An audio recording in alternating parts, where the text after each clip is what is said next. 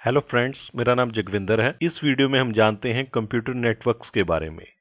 तो मुझे बहुत समय से काफ़ी मेल्स मिल रही थी कि कोई ऐसी सीरीज़ स्टार्ट की जाए जो बिल्कुल फ्रेशर्स के लिए हो, यानी कि जिसमें बिल्कुल शुरू से कंप्यूटर नेटवर्क्स के बारे में बताया जाए। तो मैंने डिसाइड किया कि मैं एक ऐसी सीरीज़ स्टार्ट करता हूँ जिसमें कंप्यूटर नेटवर्क्स को बिल्कुल बेसिक से हम स्टार्ट करेंगे।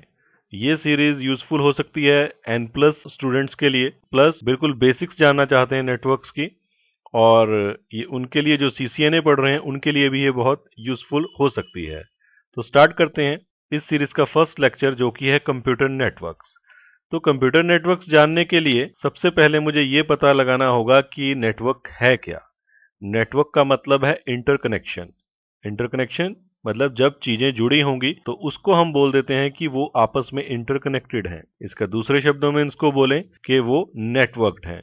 वो कोई भी चीज़ जब आपस में जुड़ी होगी तो उसको हम नेटवर्क कहेंगे या इंटरकनेक्टेड कहेंगे। चाहे वो फिर लोगों का ग्रुप है, जब लोगों के ग्रुप आपस में कनेक्टेड होंगे तो उनको भी हम नेटवर्क कहते हैं। आजकल आपने देखा होगा कि कुछ बिजनेसेस जैसे कि मल्टी लेवल मार्केटिंग का बहुत ट्रेंड है, जिसमें कि बहुत सारे लोग आपस में एक दूसरे से जुड़ते चले जाते हैं तो वहाँ पे वो लोग बोलते हैं कि मेरे इतने लोगों का नेटवर्क है।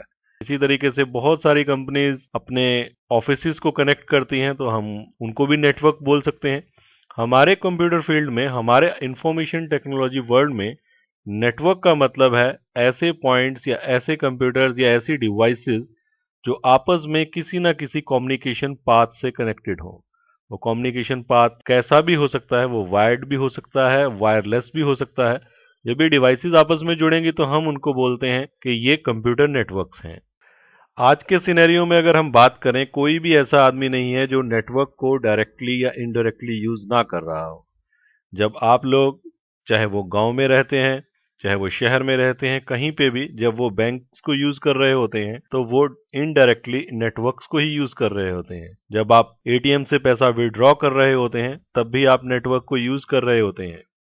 इसी तरीके से, अगर आप रेलवेज में रिजर्वेशन करवा रहे होते हैं, उस समय भी आप इनडायरेक्टली नेटवर्क्स को यूज़ कर रहे होते हैं, क्योंकि नेटवर्क वो सभी जो ऑनलाइन सिस्टम है रिजर्वेशन के लिए, वो कंप्यूटर नेटवर्क्स के ऊपर ही डिपेंडेंट है।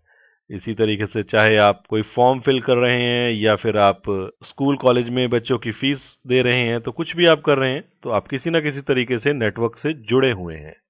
हाँ अगर हम सिंपल वर्ड्स में बोलें, कंप्यूटर नेटवर्क क्या है? आजकल कंप्यूटर नेटवर्क को सिंपली नेटवर्क भी बोल दिया जाता है।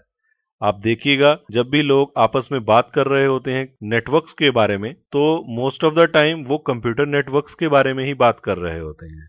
हमारा computer network hardware devices hardware components और कंप्यूटर्स का ऐसा कलेक्शन है, जो किसी न किसी चैनल से वायर्ड या वायरलेस से आपस में कनेक्टेड हों और उनका पर्पज एक दूसरे के साथ अपने रिसोर्सेज और अपनी इंफॉर्मेशन को शेयर करना होना चाहिए। अगर वो इन चीज़ों को कर रहे हैं, वो आपस में कनेक्टेड हैं और एक दूसरे के रिसोर्सेज और इंफॉर्मेशन को शेयर और यूज़ कर रहे हैं तो हम कहेंगे कि वो कंप्यूटर्स नेटवर्क में हैं। सबसे सिंपल नेटवर्क का एग्ज़ाम्पल है, जैसे ही दो डिवाइसेस आपस में जुड़ेंगी तो हम उनको बोल देंगे नेटवर्क।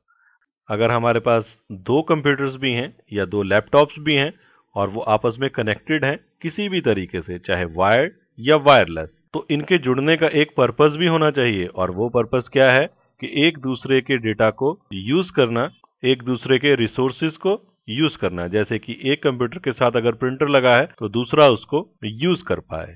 तो हम ये कह सकते हैं कि ये एक सिंपल स्मॉल कंप्यूटर नेटवर्क हमारा बन गया है।